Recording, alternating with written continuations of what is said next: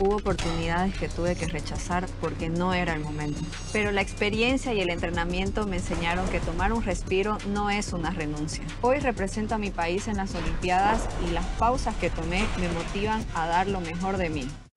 Hubo oportunidades que tuve que rechazar porque no era el momento. Pero la experiencia y el entrenamiento me enseñaron que tomar un respiro no es una renuncia. Hoy represento a mi país en las Olimpiadas y las pausas que tomé me motivan a dar lo mejor de mí.